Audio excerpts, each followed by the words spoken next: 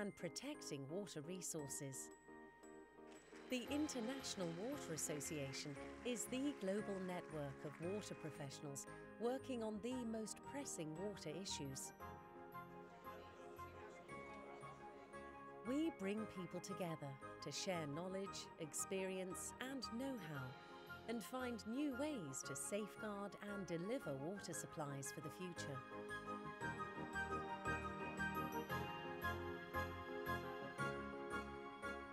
We connect scientists, practitioners and communities so that pioneering research can underpin new solutions. We foster technological innovation, support sustainability and drive best practice through international frameworks and standards. Inspiring change to deliver a better water future for all.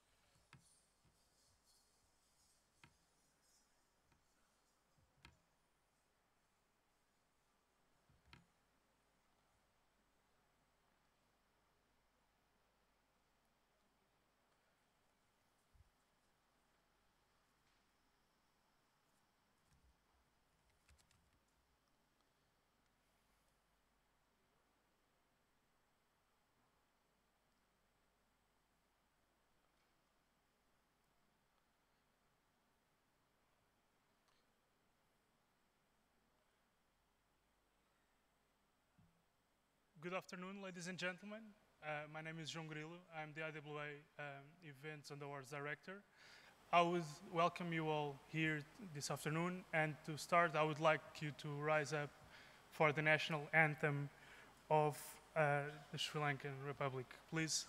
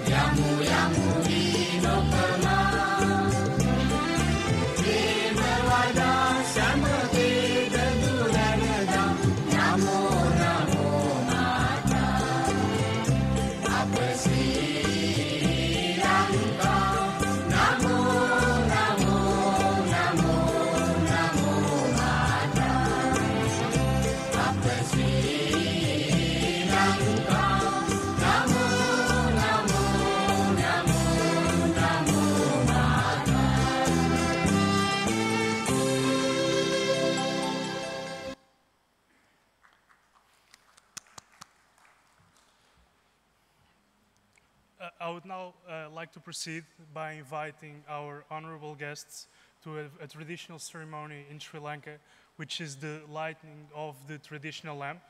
Uh, I will uh, be calling our distinguished guests for the lighting of the traditional lamp. Uh, if you then could also rise for the, the uh, lighting of the lamp.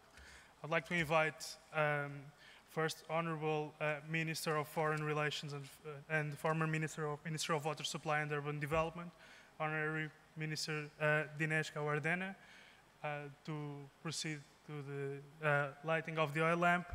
The State Minister, Minister of Urban Development, Housing and Water Supply, Honorary State Minister Vasudeva Nanayakkara, um, the Dr. Priyath Bandu Wickrama, Secretary of Minister of Urban Development, Housing and Water Supply, um, the Secretary, Ministry of Ports and Shipping, and former Secretary, City Planning, Water Supply and Higher Education, Mr.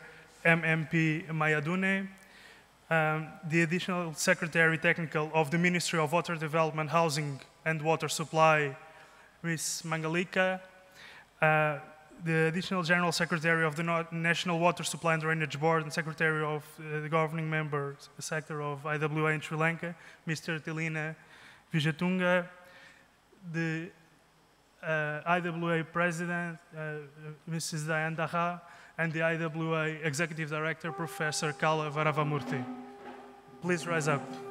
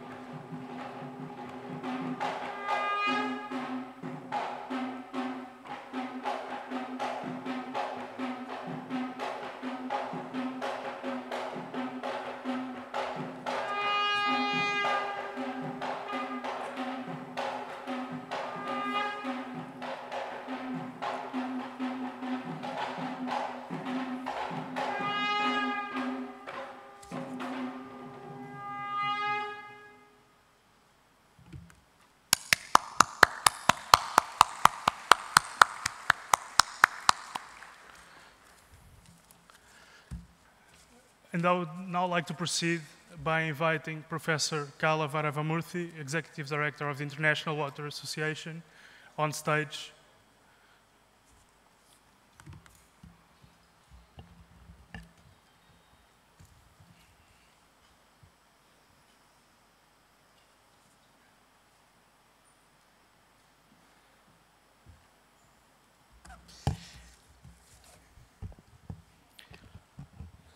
Good afternoon.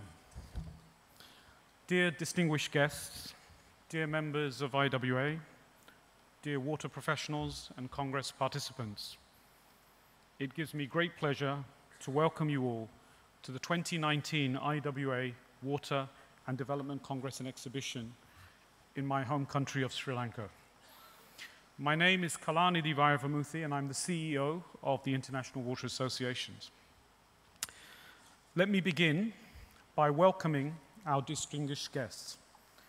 The Honorable Vasudeva Nanayakkara, the State Minister of Urban Development, Housing and Water Supply, Madam Diane d'Arras, the President of the International Water Association, the Honorable Dinesh Gunawardena, the Minister of Foreign Relations, Mr. Thilina Wijetunga, the Congress President and the Additional General Manager of the National Water and Supply and Sewerage Board, Dr. Priya Banda Vikrama, Secretary, Minister of Urban Development, Housing and Water Supply, Mr. Maya Duna, Secretary for the Ministry of Ports, Shipping, and Mr. L, and Mrs. L. Mangalika, Additional Secretary for the Ministry of Urban Development, Housing and Water Supply, and Mr. R.H. Ruwinis, the General Manager of the National Water Supply and Drainage Board. This Congress would not have happened without the strong support and enthusiasm of all of you.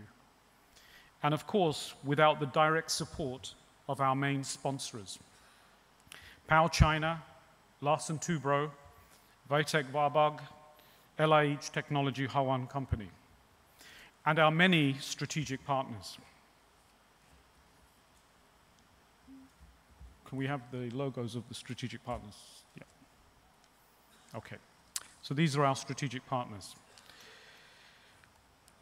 As I'm talking to you right now, around 600 to 800,000 people are flying in a plane at an altitude of about 11 kilometers above the Earth's surface and are traveling at speeds of 800 kilometers an hour.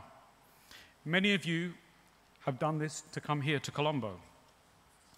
In fact, it is estimated that any given time during the day or during the night, an average of 750,000 people are airborne. All of these people are provided with safe drinking water, good sanitation, and their wastes are safely handled. Isn't it amazing that in the 21st century, humankind is capable of permanently maintaining the population of a reasonably sized town of 750,000 people 11 kilometers high and providing them with all of their essential services. But you know what's even more amazing, or I should say astonishing, is that in the same century, we have not yet managed to provide safe water and sanitation to all our fellow human beings on the ground. And this is not due to a lack of trying. When we look back in history, it is the management of water and sanitation that has determined the longevity and the exuberance of civilizations. As I said, I'm from Sri Lanka. And here we have great examples of water heritage and sustainable water management. In Sri Lanka, over two and a half thousand years ago, the great kings of the past developed one of the, one of the finest hydraulic civilizations of the world to deal with water scarcity in the dry zones of the country. The kings built a sophisticated network of small tanks connected by canals and large reservoirs in order to collect and redistribute every single drop of rain that fell on this beautiful land. The tanks were built in a cascading system using natural topography. And the main goal of these systems was to save and reuse water in order to support and sustain economic development. You know, people managed to successfully cultivate rice all year round in the dry zones, while at the same time, communities were provided with drinking water supply. But more importantly, the kings were visionaries. They also recognized the need for humans to live in harmony with nature. So, certain areas of these tanks were dedicated to support animals from the forest and to support biodiversity. In fact, it is the only man made ecosystem that managed to keep a perfect ecological balance for centuries, while at the same time providing flood control and water conservation. The thinking behind the design of these ancient tank systems was poorly understood by modern engineers, and they became neglected and abandoned, particularly during the colonial era. But we have now realized their importance, particularly in the face of climate change. And so the government of Sri Lanka is rehabilitating and rejuvenating these tank systems. And they're doing this by reviving the wisdom from the nearly forgotten past. This collective memory is shaping the waterwise future of this beautiful country. It is indeed lessons learned that allow us as a collective to rethink and reimagine the future of water. We can see this in how the lessons from the Millennium Development Goals, the MDGs, have now helped shape the transition to the Sustainable Development Goals, the SDGs. Yes, we're back to aspirational goals, but with a difference. We have become more pragmatic and more grounded in humanist values. And this is the golden thread that runs through this Congress. The fact that interventions must have at their core the philosophy that no one is left behind. And this is a non negotiable objective and that it is no longer just about access to improved sources and facilities, but it's about safe, equitable, reliable, and affordable services for everyone. So, in the next four days, during this Congress, you will be having discussions on a range of topics that all contribute in some way or another to the delivery of the Sustainable Development Goals. At the International Water Association, we believe that we are at the dawn of the golden age of sanitation, and that emerging economies have a unique but fleeting opportunity to change the way they think about water and sanitation, to rethink how water is used, how water is reused. Should water systems and their infrastructures be centralized or decentralized, linear or circular? And should we have sewers or not? These will be the key questions discussed and debated during this Congress. The Congress also brings together researchers, innovators, and practitioners to facilitate the development of nimble and affordable solutions which will help emerging economies to leapfrog from the legacy of clunky, costly, centralized systems to more distributed and circular approaches. We will talk about how digital water is an enabler that allows us to transition to this new normal of one water. You see, opportunities just don't happen. You create them. This is the spirit of the IWA community and of this Congress. When I think about thought leadership and agenda setting, it is all of you that are constantly pushing the boundaries of water science, technology, and innovation. And it is at congresses like this where you create those opportunities to shape the water sector, to shape our water future, to meet with experts in the industry with whom we have always wanted to meet and interact, to exchange, to network, to share memories, to learn, to teach, and to empower ourselves to become modern water thinkers. And opportunities just don't happen. We create them. The IWA, through its 50 specialist groups, with its presence in 140 countries, develops new ideas and solutions that inform and influence global practice and policy. You see, the institutional heart of IWA has been in existence for more than 70 years. But this year, 2019, is very special because it is the 20th anniversary of the marriage of the two associations, WSA and IAWQ, that came together in 1999 to form the IWA that we all now know and cherish. So opportunities just don't happen. It's you and us working together that creates them. So again, welcome to the 2019 IWA Water and Development Congress and Exhibition. And so with this, I would like to now invite my president, Madam Diane d'Arras, to deliver her opening address. Diane, the floor is yours. Thank you.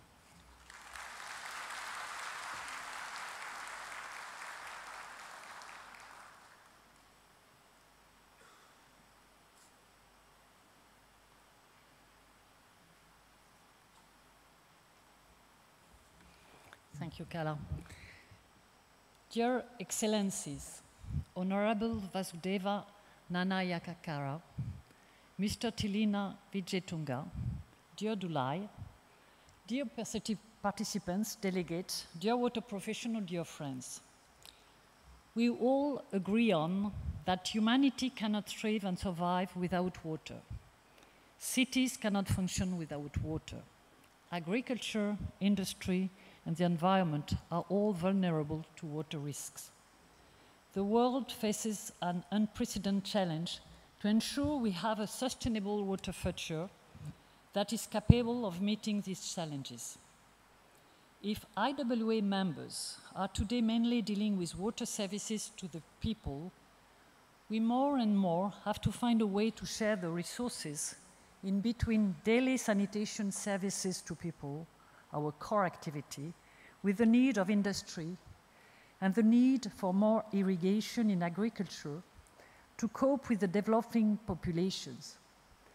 Irrigation has been and is central to human development, and some civilizations have developed it further than others. As Kala said, Sri Lanka is a good example of that. In the 12th century, agriculture reached its zenith in this country. According to the chronicles, the king Parakramabahu I believed in it and I would like to quote him. He, he decided and he pushed that not allowing even a drop of rainwater to flow to the ocean without being used by man. What a wonderful vision for opening the IWA Water and Development Congress and Exhibition. However, the reality today, 800 years after, is not so brilliant around the world. The third commission of the United Nations relating to the human rights is preparing the resolution on safe drinking water and sanitation, which should be adopted in the General Assembly of the United Nations before the end of the year. I would like to quote the United Nations resolution. And I quote them According to the Joint Monitoring Program, if between 2000 and 2017 progresses have been made, the situation in 2017 is still not acceptable. At least 29% of the population lack of the human right water services. In fact, the percentage of population using only very basic drinking water service not safely managed is 19%. And even worse, 18% of the population don't, do not even have those very basic services. In sanitation, it's not better, even worse. 55% of the world population lack of access to human rights to sanitation. The percentage of the population using very basic sanitation is 29%. And nine, 2 billion people don't have even that. And we have to remind that 700 million people still practice open defecation, representing both population 26% of the world population. The resolution of the, nation, the United Nations states that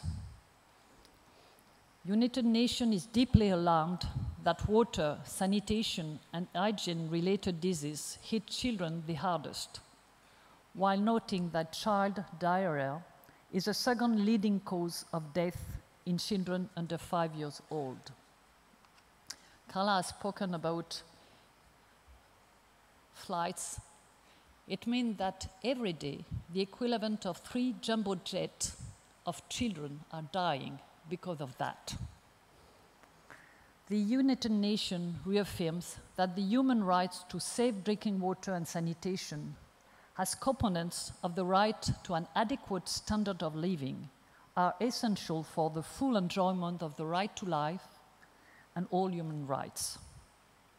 It reaffirms that states have the primary responsibility to ensure the full realization of all human rights and to endeavor to take steps individually and through international assistance and cooperation, especially economic and technical cooperation, to the maximum of their available resources, with a view to progressively achieving the full realization of the rights to safe drinking water and sanitation by all, by all appropriate means, including in particular the adoption of legislative measures. UN calls upon states and international organizations to provide financial resources, help capacity building and technology transfer to help countries upon their request, in particular developing countries, to provide safe, clean, accessible and affordable drinking water and sanitation for all. This is where the role of organizations like IWA can speed up the process of development. As water professionals, we have a lot of knowledge and solutions. But the development sector is very complex, with different models and structures. This requires for water professionals to be open to diversity.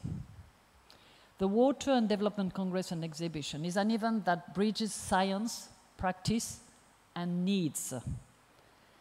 As I just said, the needs are huge, enormous, in terms of delivering the services people need. The IWA Water Development Congress and Exhibition is different from the other big IWA biannual congress in the sense that it is a place where you have to face two days development reality. Water professionals meet development professionals and water needs needs in terms of technology, but also in terms of governance, financial means, human skills. We aim to bridge the adoption gap. However, while we want to promote cross-thinking, solutions that work well in a country are not necessarily the ones that will fit best other realities. We have to work around importing problems when we want to spread the solutions. understanding and sharing these challenges, the gaps, are key elements to identify effective solutions that adapt to the different realities. Listening to and sharing with other organizations individuals is an important element for progress.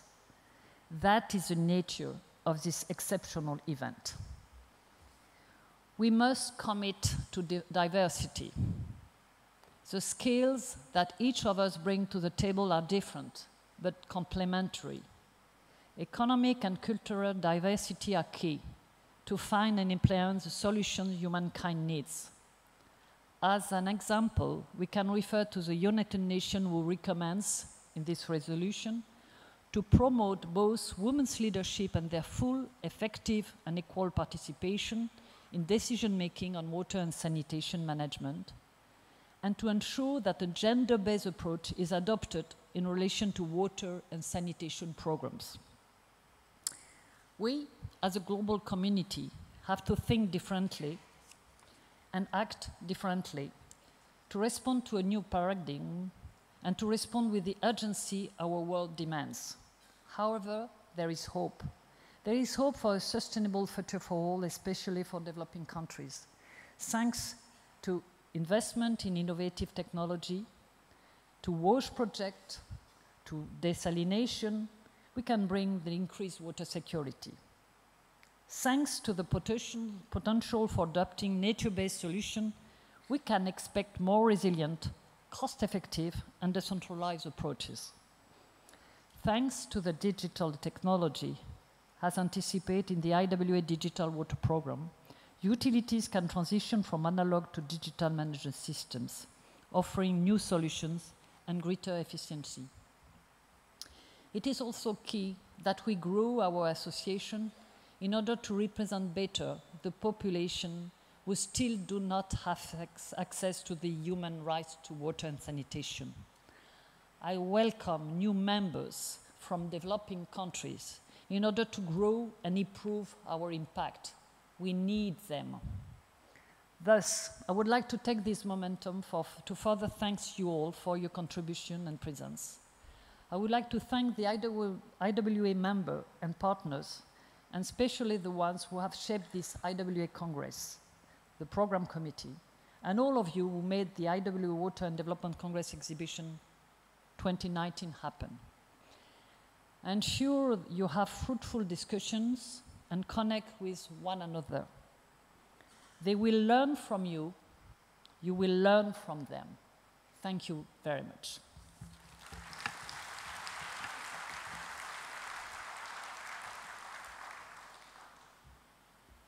Thank you very much, Diane, for, a, for an inspirational speech. You know, the IWA Congress doesn't work without local support, and we have been very fortunate here in Sri Lanka to have had strong support from the Ministry and also from the National Water Supply and Sewerage Board. The key person in all of this, the engine that kept pushing and pushing, was Mr. Thilina Wijetunga from the Water Supply and Drainage Board. So I would very much like to now invite Mr. Thilina, the Congress President, to deliver his opening speech. Mr. Thilina.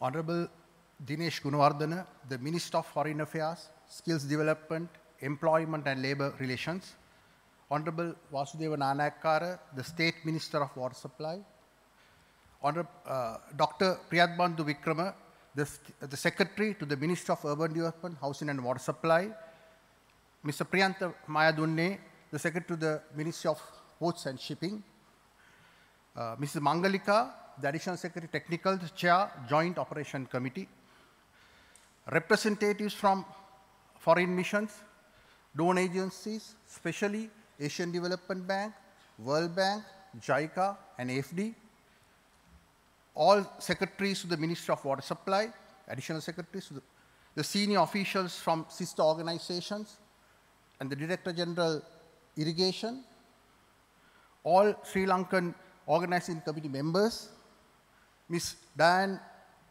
Diane, the President of International Water Association, Kala, Professor Kala, the, the Executive Director of IWA, colleagues and friends.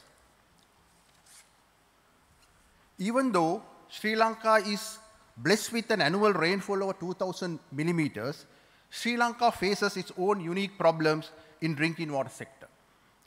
The geographical diversity and the climate variation in Sri Lanka makes the drinking water issues even more complicated and complex. Being a country in which one third of its population engage in agriculture, competing demands for agriculture and water for drinking is becoming a major issue. One could assess the seriousness of the water quality issues, which is evident from the chronic kidney disease epidemic, which has made, the, made a serious health impact on several provinces in Sri Lanka. Over the last decade or so, Sri Lanka had been attempting to develop its industrial and commercial sectors anticipating an economic growth, where the water supply, services, and infrastructure became, becomes a fundamental requirement. Supplying potable water to urban cities, industrial zones, commercial hubs have been a major challenge, mainly due to water resource constraints and limitations. We have been exploring alternative options such as desalination, but at the same time faced with uh, financial feasibility issues as the current water tariff is heavily subsidized. In a, in a nutshell, we could say that the drinking water sector has been going through a transition phase encountering quality and quantity issues while facing cost recovery and investment challenges. In addition, even though Sri Lanka has a healthy indicators on sanitation, for pipe water service coverage, Sri Lanka has to go a long way. In this backdrop, we were eager to network with the global knowledge hub to share experience and to learn from contemporary best practices in the drinking water field. We envisaged that there may be other countries which would have gone through this phase, and we were eager to share the lessons learned by our international counterparts in tackling these issues. This persuaded and encouraged us to convince IWA to hold the 2019 Water and Development Congress and exhibition in Colombo, Sri Lanka. The IWA naturally became the best candidate for us to link with considering its global reach and its worldwide network. We had no hesitation in promoting our partnership with IWA. Both parties work uh, in dedication and resolution work towards a common goal. And we are here today being the proud host nation of the IWA 2019 World Water Development and Congress and Exhibition. The government of Sri Lanka gave us clearance to go ahead and extended its fullest cooperation to make this event a success. Under the stewardship of the Water Ministry over the last year, we as a team worked tirelessly to materialize this event. First and foremost, we would like to extend our gratitude to our former secretary, Mr. Mayadunne, and our additional secretary technical, Ms. Mangalika, and the ministry staff for giving us the courage and the guidance to come so far. We do not do justice if we do not recognize the support extended by the universities, especially the engineering faculties of Moratuwa, Peradeniya, Ruhuna, and Jaffna, who supported us all the way up to this point. From the inception, we had a very cordial relationship with IWA, overseas team, and working with them was a pleasure. We set up several working committees, such as main coordinating committee, delegation committee, local delegation committee, exhibition committee, conference committee, and so on. And I'm telling you now, the commitment and the dedication shown by those teams were exceptional, and we would not have been here if not for the team spirit and the dedication shown by those committees. We were well on track until the unfortunate Easter Sunday incident threw us into a spin. Imagine the confusion and the uncertainty that engulfed us when you have to organize an event of this magnitude with international involvement in uncertain circumstances. Then came the second bombshell. That is president's election to be held either in November or December and the exact dates unknown.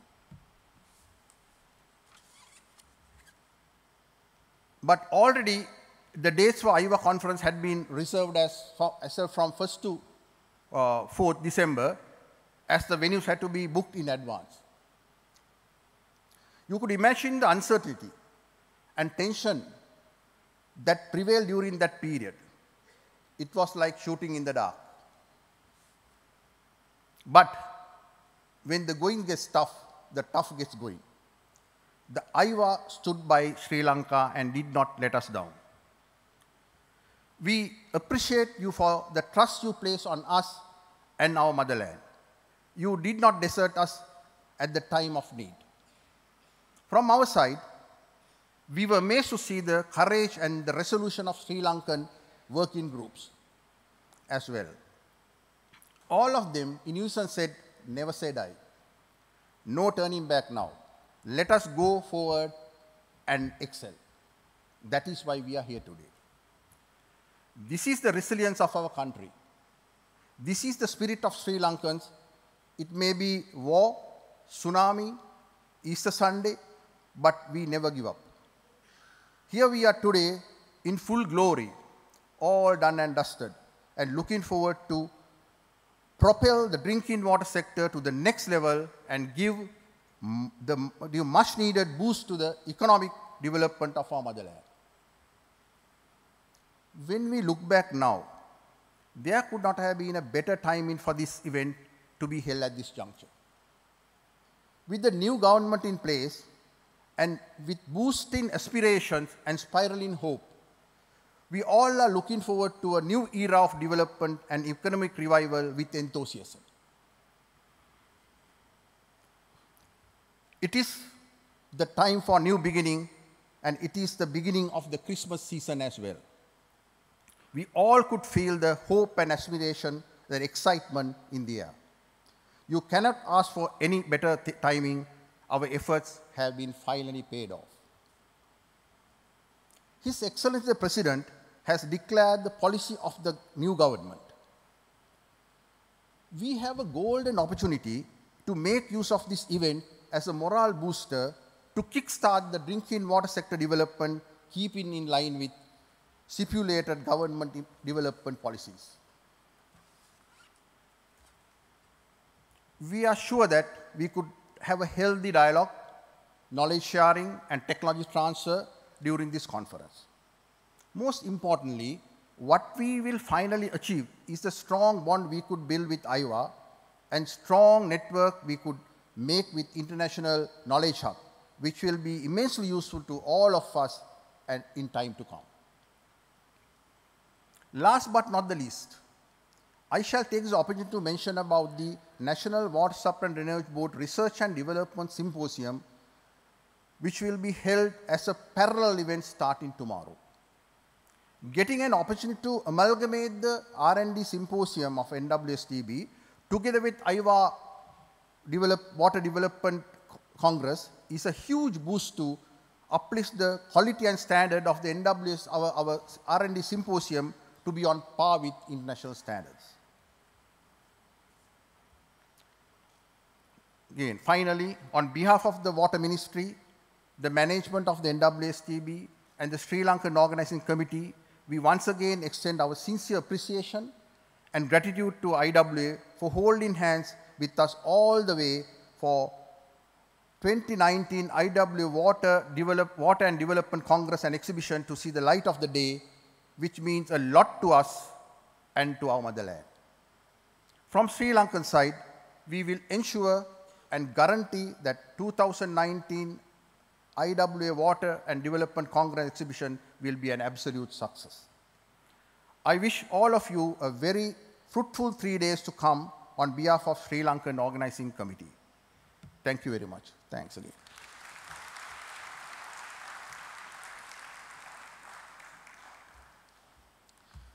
Thank you very much, Mr. Thilina, for your inspirational speech and for your kind words. And I must say, the hard work that all your committee members put in to make sure that this conference is a success. Now I would like to invite our chief guest, the Honorable Vasudeva Nanayakkara, to give the chief guest's address. Please, Minister.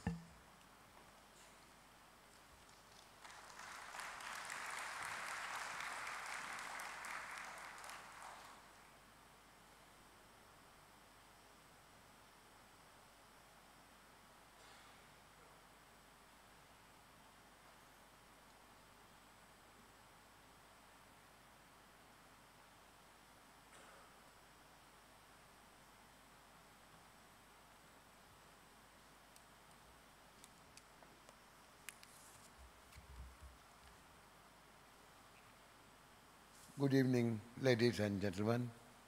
Ayubowan Vanakkam.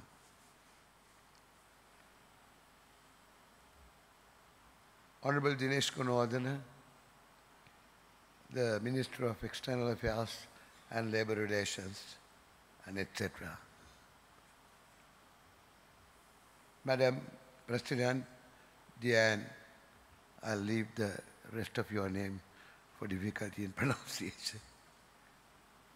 Kala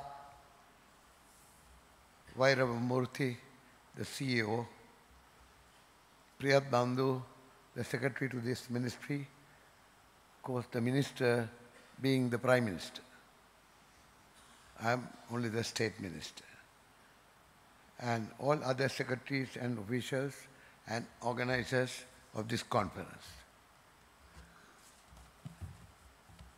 It happens to be by luck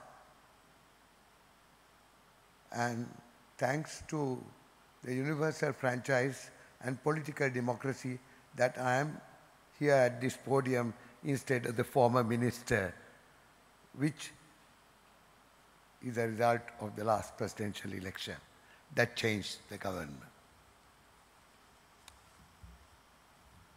We invited the former minister Honorable Rauf Hakeem to be present at this event and we expect him to be here at any time.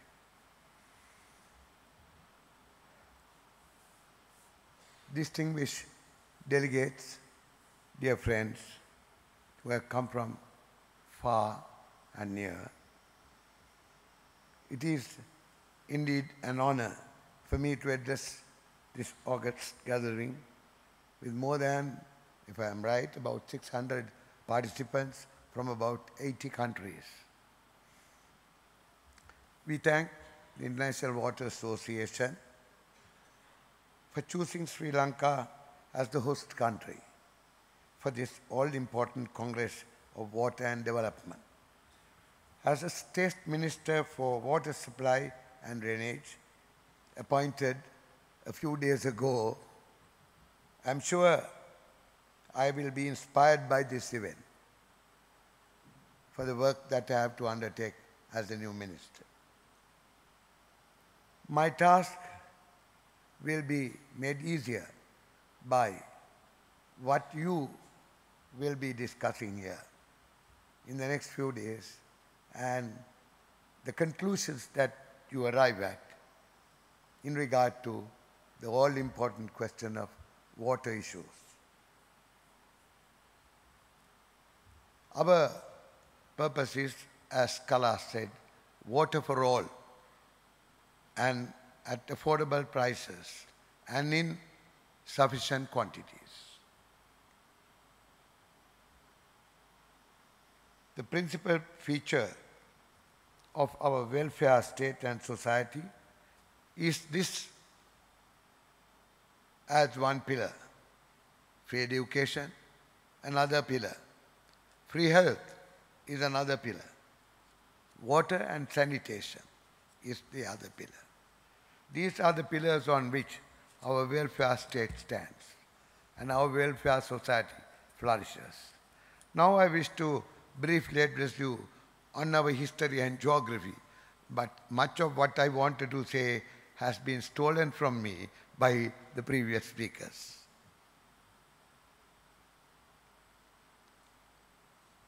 Your president even referred to Parakramabahu the Great, our king, and what he said.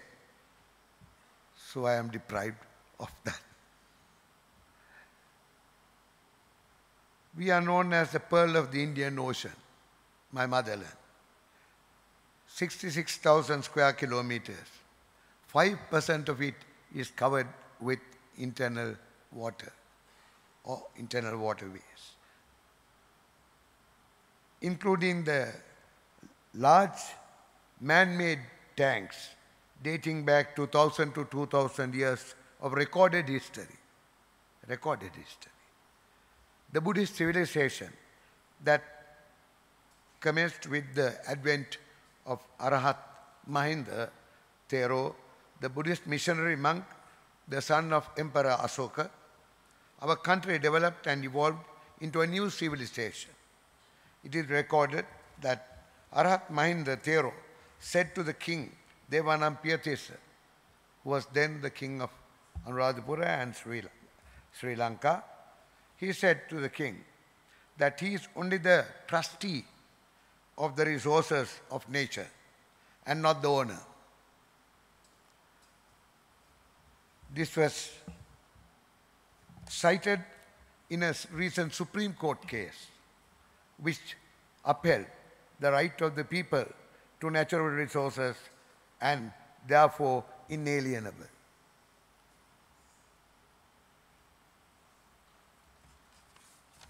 This has set the tone of our culture and secondly, in our governance under all governing regimes. I also must mention the valuable contributions Hinduism later on has made towards the evolving culture and also Christianity and Islam still later in their contribution towards this evolved civilization. Our country is blessed with an annual average rainfall. That figure was given by our director, 2000 millimeters. Therefore, we have surface and groundwater in abundance.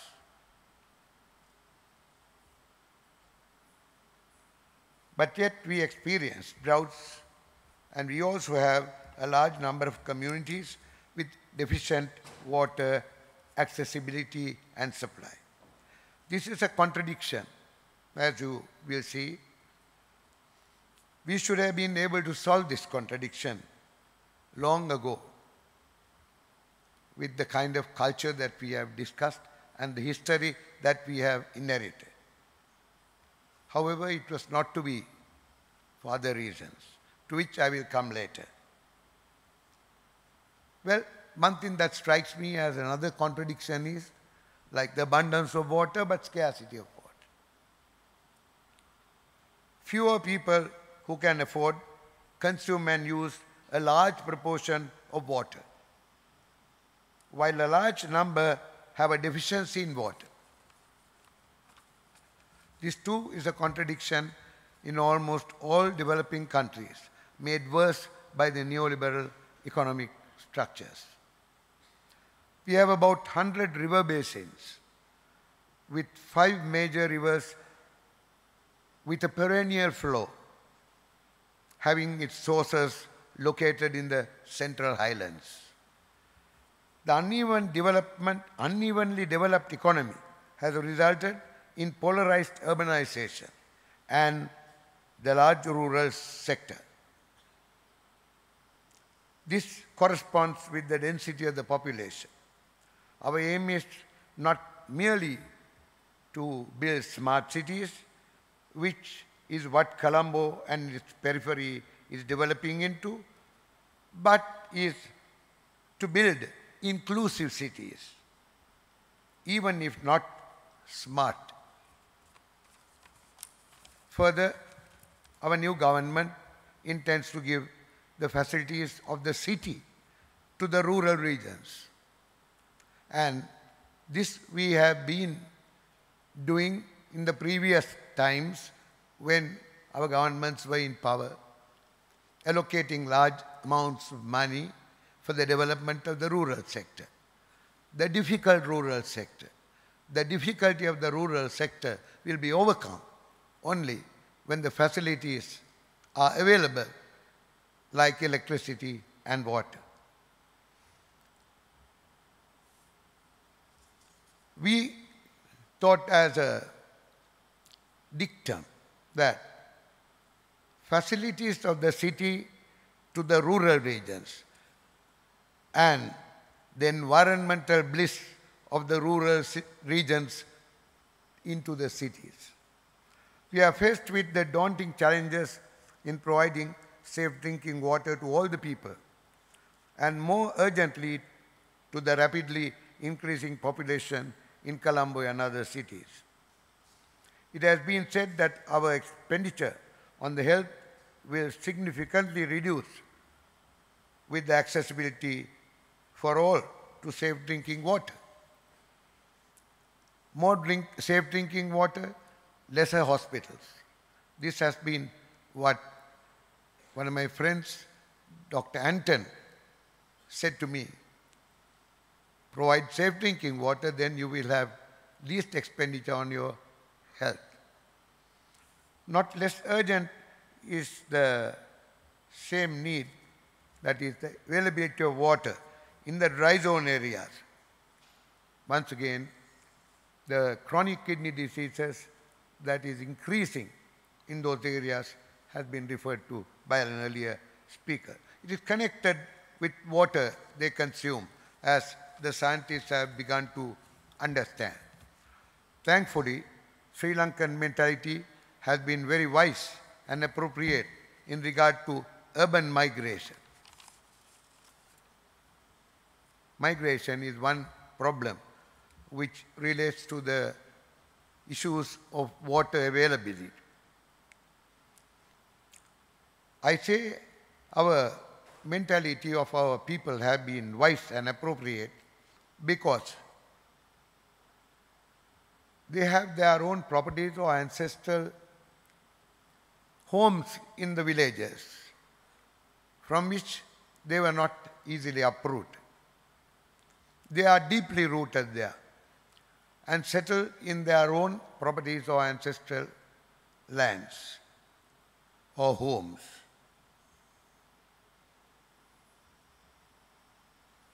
If this were to be the pattern, with less migration into the urban areas, as has been noted, Sri Lanka has the least migration and urbanization in South Asia.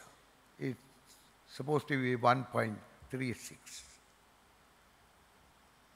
What we need will be public transport systems. I don't want to go into another sphere. But that would check the unnecessary urbanization. The water and environmental issues vary from city to another or to the non-urban areas. The mother of all issues related to water is the destruction of catchment areas and the loss of forest cover and the misuse of chemicals in agriculture at high elevations. Of course, these issues arise partly out of lack of proper employment and income to the people who are in the lower segment of the population, and partly due to the corruption of officials and, irres and, irrespons and partly to the irresponsible, greedy, unscrupulous rich. But these in contrast to our 2,000 year old culture, which has been contemporarily unique in the sustainable water resources management systems and practices that we had. Our ancient cities had running water facilities and sanitation too. We have to ask ourselves why we have degenerated over the years. Our own long-term people's interests were overrun by the colonizers who denuded our forests, the richest resource we had. As has the UN now realized and underscored, development is not merely growth. It is not merely in economic terms.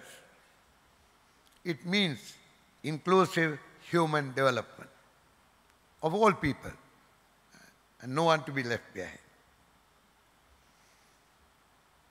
Economic development is a means to an end. The end is ultimately human development. Our new president,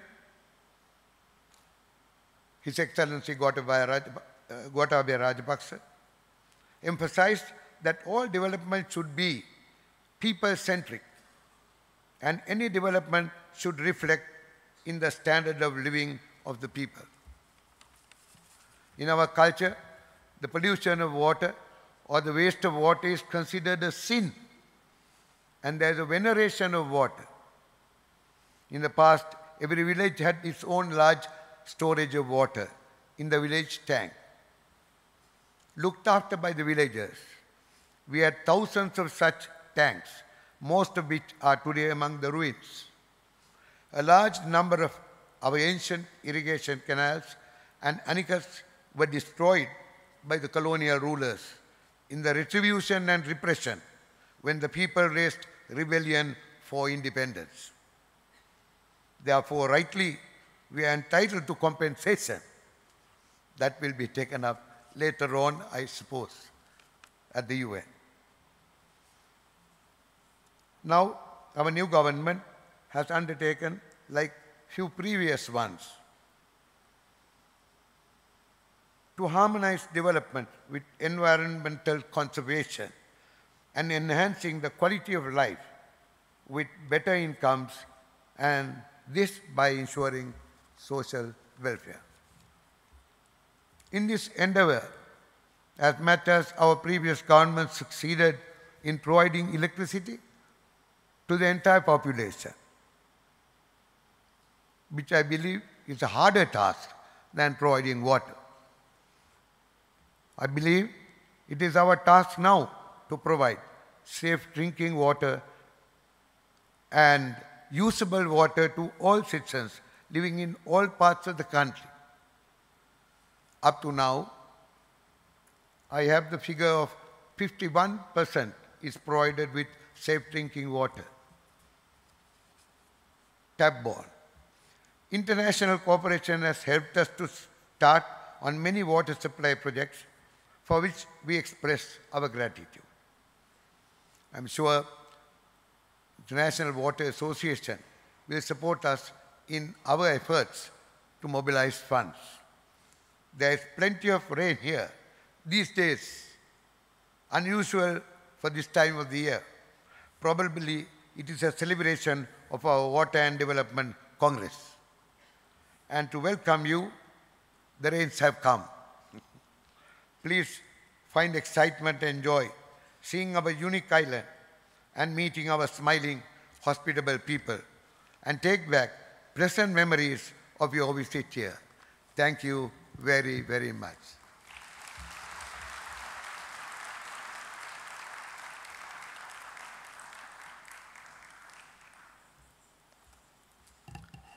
Thank you very much, Honourable Minister Vasudeva, for a wonderful speech. Okay, so now we're going to have some light uh, entertainment. Um, and we have a wonderful dance performance by the Channa Upali Performance, uh, Performing Arts Foundation and they will perform a piece called The Pearl of the Indian Ocean. So please, if we could welcome the Channa Upali Performing Arts.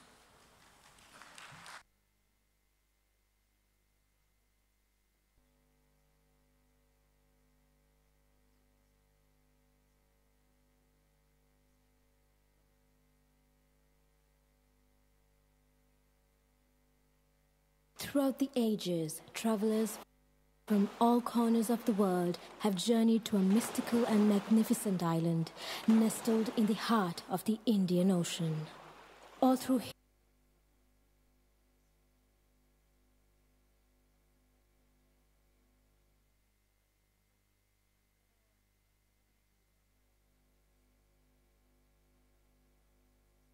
Throughout the ages, travelers from all corners of the world have journeyed to a mystical and magnificent island nestled in the heart of the Indian Ocean. All through history, this island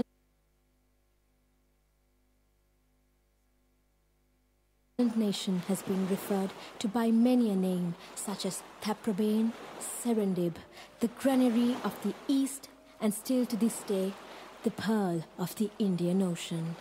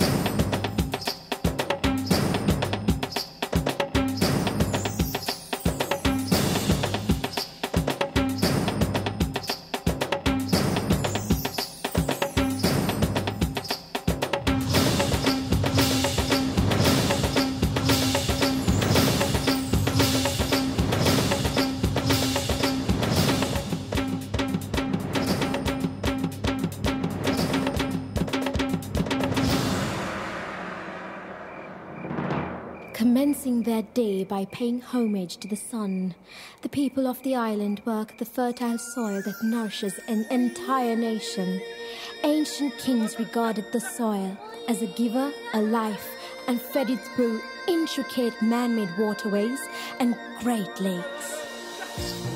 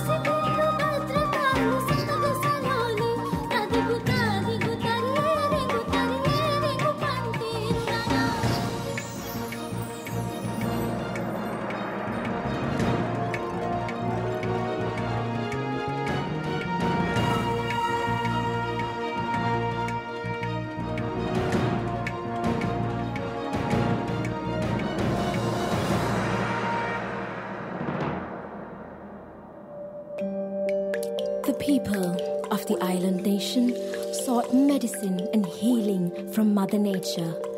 Healing rituals were performed to cleanse the body and mind of impurities through the recital of spiritual chants called slokas.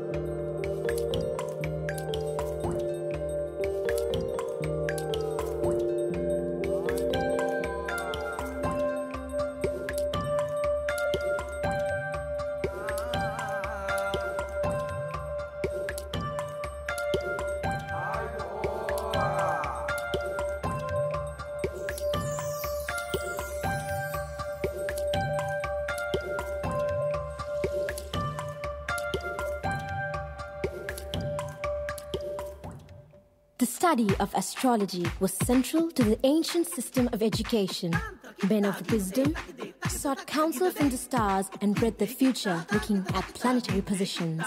Time, space, and energy were harnessed in the art of movement and traditional drumming, which gave rise to the traditional dances of Sri Lanka.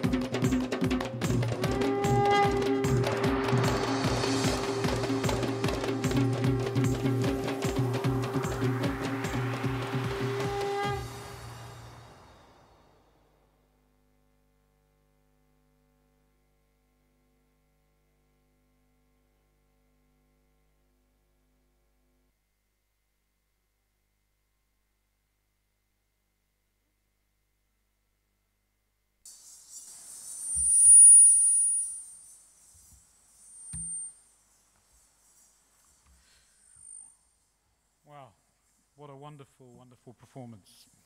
And a beautiful way to start this Congress, show, showcasing the grace of Sri Lanka to all of you. I just want to acknowledge the Honorable Rauff Hakeem, who has just uh, walked into the meeting, to the, to the Congress. He was the former Minister of City Planning, Water Supply and Higher Education, and he was very instrumental in bringing the Congress here, and, and he gave a lot of support to us. So thank you very much, Honorable Rauff Hakeem, for all your help and support.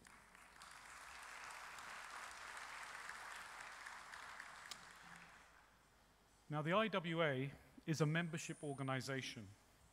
And at this Congress, we celebrate the achievements and successes of our members and the global water community. So we shall now begin the IWA Water and Development Awards. The IWA Water and Development Boards have two categories. The first is research, and the second is practice. The Research Award recognizes high quality, disruptive, and impactful research in the areas of water and sanitation with a focus on low and middle income countries. The Practice Award celebrates outstanding accomplish, accomplish, accomplish, accomplishments in the practice of forward thinking applications and solutions to advance safe water and sanitation in low and middle income countries. This year, the awards attracted an unprecedented level of interest. We had 74 nominations from 29 countries. And we put together a high quality judging panel from our membership who were responsible for judging these nominations. And let me tell you, they had great difficulty because many of those nominations were exemplary. But there can only be two winners. And today we are going to, out, to honor two outstanding professionals. I would like to invite my president, Diane d'Arras, and the Honorable Minister Vasudeva to come to the stage to be part of the award ceremony. Please.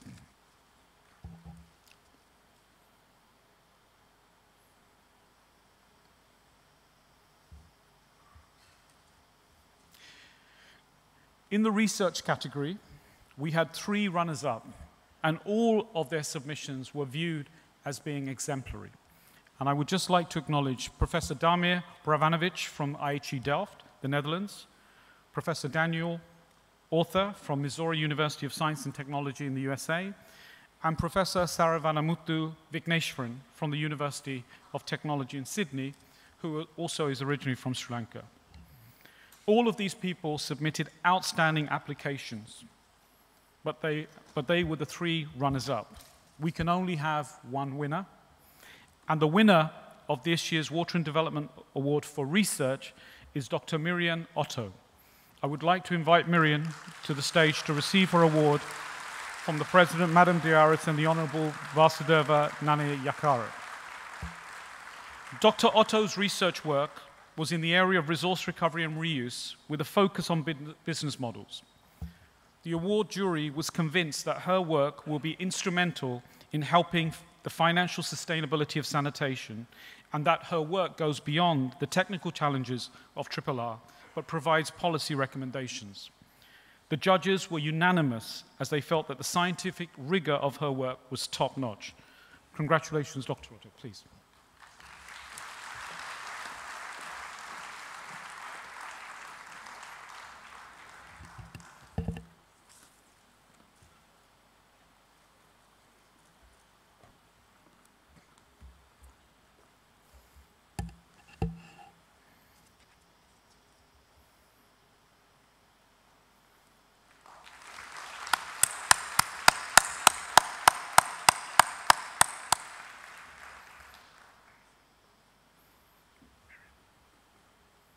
just wait.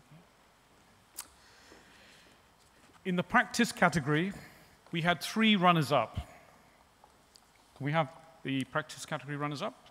We had Mr. Gerard Payen from the French water partnership Asti Ondeo Aquafed in France.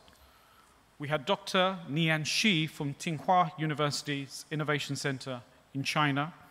And we had Mr. Liby Johnson from Gram Vikas, Odisha in India. Again, they all submitted outstanding applications, but they were the three runners up. There can only be one winner. And this year's winner for the IWA Water Development Practice Award goes to Mr. Sikandar Sab Maranik. Please. Sikandar Sab is the CEO of the Sankalapal Rural Water Development Society. He started an NGO that installs rainwater harvesting recharge systems in bore wells in rural India.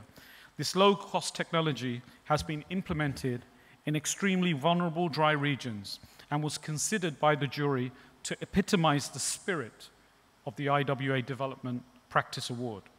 To date, Sikandar Saab has implemented the systems across India in over 1,500 bore wells. Please, Mr. Sikandar, receive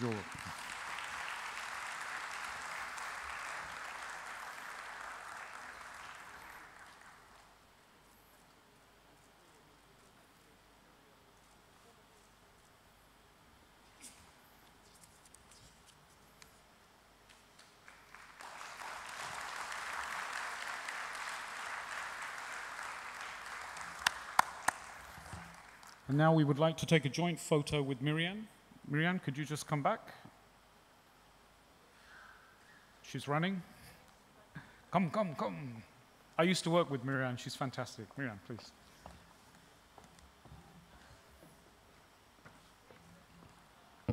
Me?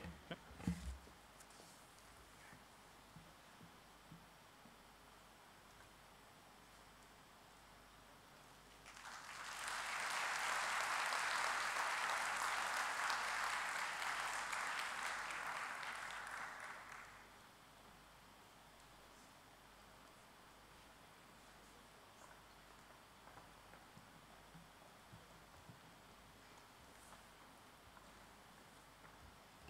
I must say it was fantastic that we had so many nominations and we had a fantastic judging panel and they took a lot of time to, um, to come up with the winners because it was very, very difficult.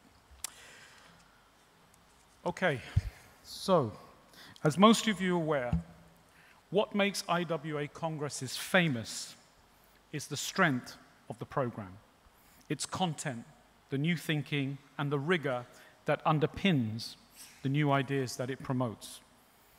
And of course, the way that we ensure that the program is so strong and appealing is through our program committee that is formed by our members. Can I have the photograph of our members, please? Yeah? It is only through our members' efforts that we are able to consistently deliver high quality programs and content.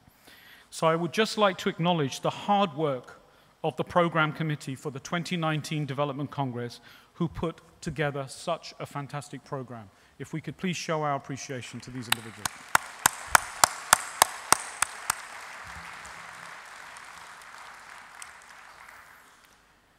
Now, the chair of the program committee was a very esteemed person, and we are so happy and honored that he has agreed to deliver the keynote address during this inaugural session.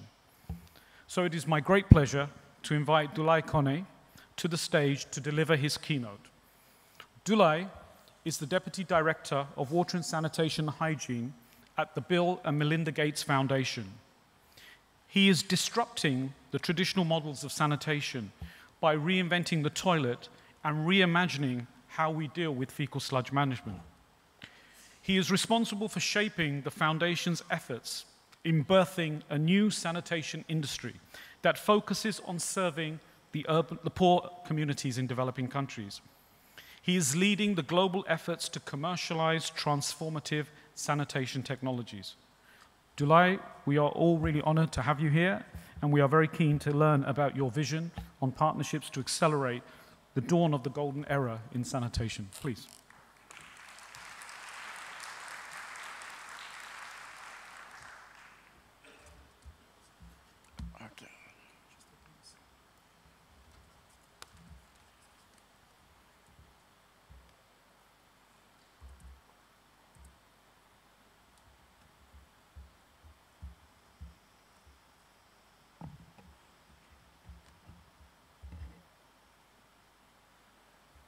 Thank you, thank you, Kala, for, for the invitation, for extending this invitation to me and allow me to be, to be here today. Honorable Minister and like you said, I won't make a mistake trying to pronounce your, your name, but my neighbor, I believe, is Minister Dinesh, and Honorable Minister who just arrived, dear secretaries, and dear delegate. It's a great honor for me to be here today and speaking partly on behalf of the program committee which uh, Kala just shared. But also I want to share some of the work that I believe we should keep doing together if we want to grow the impact of our work in, in these communities. First, I was really impressed by the performance, okay? So as an African, I also like music, and I felt that sometimes I need to, maybe I will learn some of those moves. And when we invite you guys from Sri Lanka in Africa, we'll try to, to do some additional move, okay? Thank you. Miriam, when I heard your name, I thought maybe I should change my keynote because I wish I was able to explain today to everyone in this room what you did in this publication and in this book. It's amazing. If you are under 40, can you raise your hand? Okay. There's enough knowledge. This is like a library of what tomorrow, the tomorrow of sanitation looks like. This is what Miriam has, has, has written. It's really worth worth reading. Let me start by saying thank you to all the committee uh, members. We are able to work remotely today, but we can do great things together. Most of these people, I would meet them for the first time this week. Some I knew before. But thanks to internet and the great connectivity, you know, technology is evolving in many domains, not on sanitation, but many domains. So thanks to technology, we were able to come together and, and propose a program which I believe is very compelling, that everyone here, uh, I really hope you would leave the conference with very strong relationship and very strong uh, partnership. I also want to thank the, the CEO, actually, Kala, and the Secretariat, for also choosing those members and making sure that we have great representation if you've seen on the pictures, they've tried their best, their best to make sure that this is gender balance.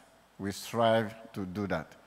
It's not something we have to celebrate, it's like the normal thing to do. Okay? If you're coming for the next Congress and you're a woman, bring another woman colleague. If you're a man, bring a female colleague, okay?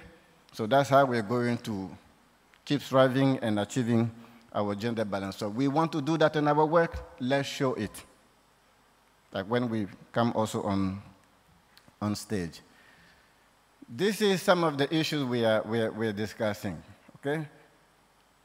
Water is becoming a scarce economic resource.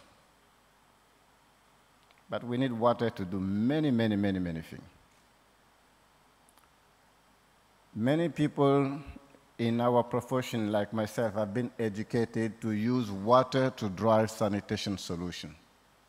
And what I want to share with you, maybe it's the time to rethink that. Maybe it's the time to think, to think differently, because water is not no more available.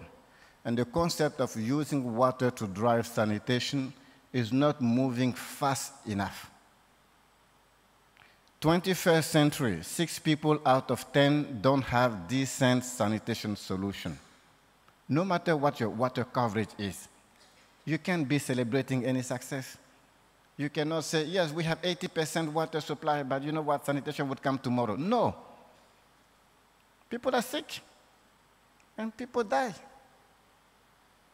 And it has a huge burden on economic. When I say partnership, I'm not asking the top water engineer to become the top sanitation engineer or to become the top hygiene engineer. It's how do we extend our work, our relationship? How do we cross borders so we can talk to the others? Then together, maybe we can do bigger things. These numbers are huge. And I don't like recalling them all the time. I wish I would be on the stage one day and say, hey, here's a lot of money that people can make, so let's build an industry and let's go and make that money. This is something which breaks my heart. I mentioned technologies, you know, how we use technologies to plan this conference. Me sitting in Seattle, other people in Sri Lanka, in India, in Europe, and we're able to plan great things together. When it comes to water and sanitation solution, there's a huge inequality in the world. I need to check the time with, it's not showing on the screen. If someone can display the time for me. So when it comes to water and sanitation solution, huge inequality in the world. If you are rich today, your toilet drink more water than yourself. That's what it is. Every single time you flush, 5 to 10 liter. You go and pee, 5 to 10 liter. You do number two, 5 to 10 liter. You're two years old, 5 to 10 liters we cannot sustain that.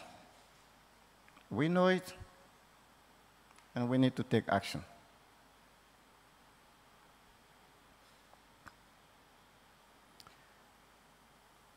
Things around us are changing. We have you know, great representation from the government today. Three ministers, several secretaries. When I said, you know, raise your hand when you are below 40, it's on purpose. Because I know when I was also below 40s, I used to be very impatient in those plenary sessions. Like, yeah, people talk too much. Why all these long speeches? Because this is the time where we have to translate for the policymakers what we have learned, what we know, what type of advice we need to give them. If we do that well, from this meeting, they can get empowered and they can take action. I believe that's also part of the plenary uh, session you are you're trying to, some of the goal of the plenary session you're trying to achieve, Mr. CEO. Around the world, governments are campaigning with sanitation as a theme, and they win. India showed it. Very recently, Nigeria signed into law a bill to end open defecation by 2025. China, since 2015, launched a huge program on sanitation and toilet revolution. Several governments, if you are from a developing country, I can guarantee you this is one of the priorities of your government. If you're working in a developing country or an emerging economy, this is one of the biggest priority of your government. Not everyone is making big media coverage about this. Communities are asking, industries are asking, and government are coming forward. Now, as professional, how do we answer?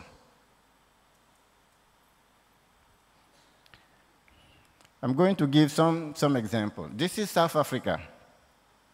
South Africa did an amazing work on the policy level. This is the Ministry of Trade and Industry taking notice that water is becoming scarce and maybe disruptive sanitation technology can actually help save water. It's not the Ministry of Water and Sanitation. It's the Ministry of Trade and Industry. National policy action with budget behind to fund industries that can come up with what they call smart water toilet. It means toilet that doesn't drink drinkable water. Those toilets can make their own water today. Technology is available to do that. And the government is putting huge, significant budget to push for solutions like this. If you are industry players today, that's one place to go. Partnership here means the work that the Department of Water and Sanitation is doing together with the Department of Trade and Industry can actually help boost an economy in South Africa? Can we have similar effort in other places, in other countries? The market is there, for sure. This graph shows on the right side the coverage on on-site sanitation uh, system. Most cities, like large cities in the world today, don't have full coverage of sewer system. If we want to accelerate service provision in those countries and in those cities, it has to be a different solution. And the y-x is showing these are also the growing economy. It means the opportunity is there. I gave an example of South Africa. I gave example for China, India, uh, next to, to us here. This is where the industry potential is today. And as sector professional, we need to organize ourselves to extend our knowledge, extend services, extend technologies that would actually respond to these needs. And industry people are doing this on their own. Those logos here, these are multi-billion companies coming together some of them are members of IWA, our community. Others are not. Maybe they will come soon. Politicians are asking, industries are organizing themselves. There are many others. You know, Fecal Sludge Management Association is one newly created. You will hear about them very, very, very soon to, to do that.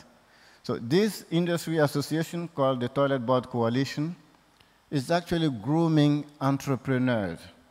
It means if you are a young researcher today and you can invent a technology, you may have an opportunity to become part of the Toilet Board Coalition to apply to some of the accelerator and actually spin out a business.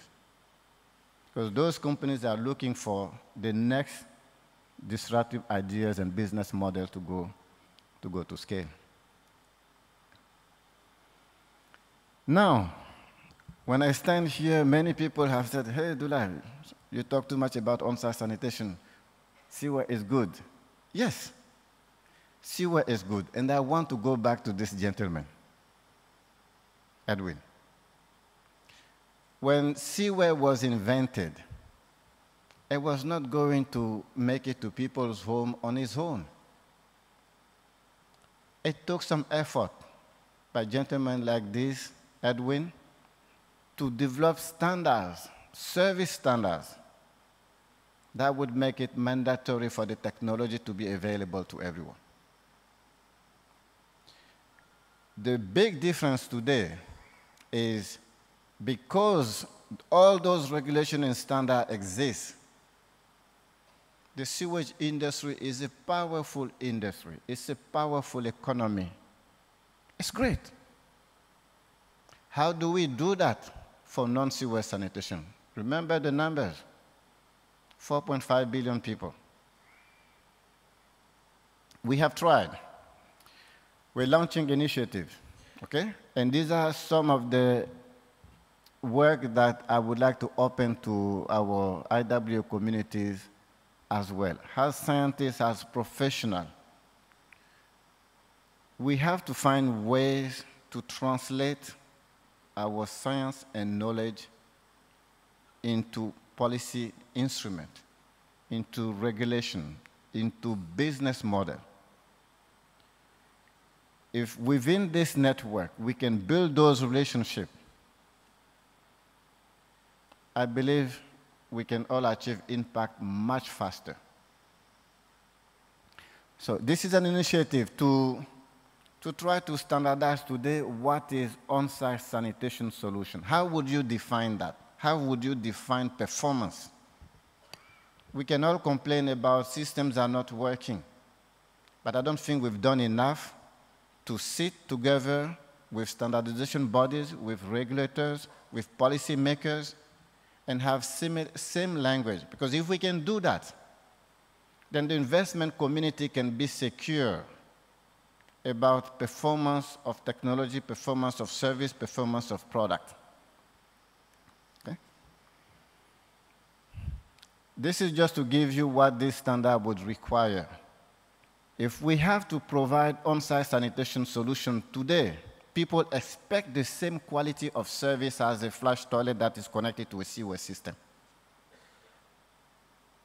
And that flush toilet takes a pathogen away from the family. My kids play in the bathroom and they never get sick. If I have a latrine at home, I would never allow them to go and play in the, in the latrine. That latrine has to be safe. So if we are providing quality service equitable quality service to everyone, we have to abide to the same standard. So let's define standard for on-site sanitation services if we want to make this an equal industry as we did for the wastewater industry, as we did for the water supply industry, as we did for the telephone industry as well. These are some numbers to share with, uh, with the audience uh, what the level of safety, what level of safety is required for, for standards like this. This is, this is an example. I'm not saying this is going to solve all the problem. This is only one standard. We need many more. If we are very serious about developing solutions and services that would last, that would provide same quality service as people would have with the sewer system, we need to develop much more of these standards. I mean, we have to translate our knowledge and innovation into those instruments as well.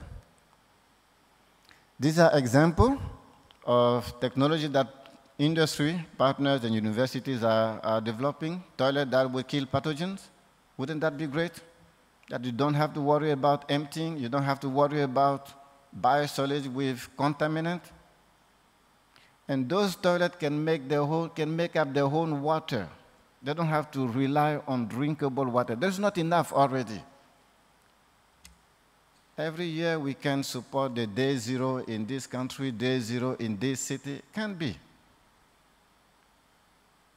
See where system work where it worked greatly for 4.5 billion people. Maybe we can rethink. when I say the industry is, is developing this, it's not to say this is like new technologies. A company like SCG, SCG is a 15 billion US dollar company. Uh, yeah, 15 billion US dollar company in petrochemical industry. But they believe in communities where they work in order to make a lasting impact removing pathogens from the environment is actually key. And they're opening a business opportunity to actually extend sanitation services with toilet that would operate off-grid. No water supply going in, no sewer connection, and minimum electricity. This is another example from, from a company in, in China. You don't have electricity, you can use solar panel and this is based on electrochemical reactors. And these are all technologies available in the IWA network. These are all technology available in many, many universities and many publications already. How can we accelerate the transition, translation of those solutions into industry solutions? And I hope the work that we do within the network can actually uh, help inform. Decentralized sanitation system. Uh, I started my PhD work with you know, wastewater engineering and wetland system and activated sludge and pond system. When I started visiting treatment plant before I did my PhD, I visited many cities in Africa. I will visit a city, the municipal sewage treatment plant is not working. And by the way, it is still true today. Then I, cross the road, I go to the industry, like Nestle is on the other side, and they use the same technology and it's working. If I ask the city, oh, we don't have the money, we don't have the expertise, we don't have the capacity, the other side, they have great incentive and it's work. And they hire people from the country. So the knowledge is there, the expertise is there. Why it's not working for cities? Because most of the treatment plants that we have been building don't generate enough resources, revenue to cover costs.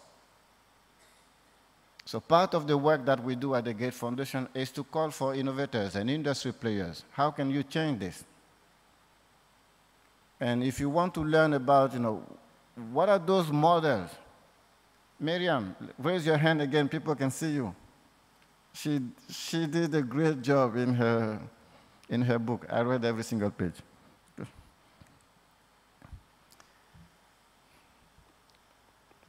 I'm talking about toilet, and sometimes there's one difficult question that people don't necessarily address. Malodor. It stink. Firmenich.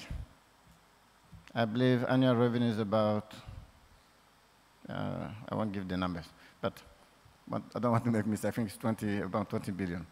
Uh, Firmenich is one of the largest, it's the largest fragrance company. If you use a perfume today, maybe probably you use some, a product coming from Firmenich. They produce perfume for all the biggest uh, companies. Okay. They came up with a great technology that suppresses malodor in toilet. You can clean your toilet, you use a product to clean your toilet, it doesn't stink anymore. Solution like this can accelerate behavior change, can help changing behavior, can help people accepting greater solution, greater technologies as, as well. So my call today is to, to invite all of you, and especially uh, the, the young professional, to be part of this. This is, this is your opportunity. If you are here today, you made the right choice. If you are in this business, you made the right choice. Years before, I was like you. I was doubting whether this was the right thing to do. I can guarantee it's 100% the right thing to do. Okay? Be part of this. What you can do you don't have to be engineer because in our water sector, we have traumatized so many people. We have traumatized our social scientist colleagues. We have traumatized the economists, the policy makers. Because if they don't speak engineering language, then boom, boom, boom, boom, boom, boom. It's not good. We need a much bigger family. If I'm an engineer and I invent something, I need someone to sell. I need someone to service. I need someone else to use it. We need to be open. The area you can choose to contribute are enormous. It's like you can build things from scratch. Imagine that. Thank you.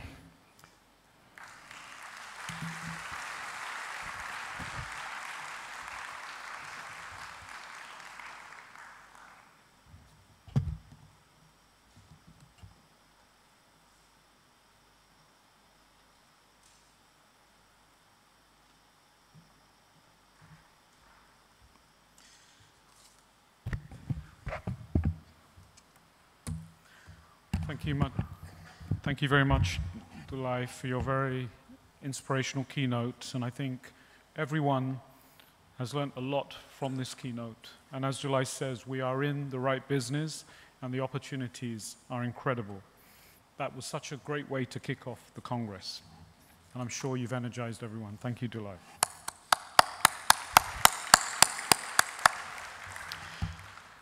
So we've nearly finished the opening ceremony. But I just have an announcement to make. Right after the opening session, we will inaugurate the exhibition with a traditional ribbon cutting just outside the main hall. And so I would very much encourage all of you to gather outside in preparation for the um, inauguration of our exhibition. So, I'm going to close the inaugural session by saying that I really believe that this Development Congress will be the most successful Development Congress we have had to date. Two long years of preparation have made it so. And the Congress numbers substantiate that. We have nearly over 1,000 registered participants from over 70 countries. We expect to see around 3,000 visitors over the next four days. We had 415 abstract submissions, of which we were only able to select 115. We have 30 technical sessions, 30 workshops, 38 forums. So let's make this Water and Development Congress a great success. As I said earlier, opportunities don't happen, we create them. I now officially open the 2019 IWA Water and Development Congress and Exhibition. Thank you all and enjoy the Congress and enjoy Sri Lanka.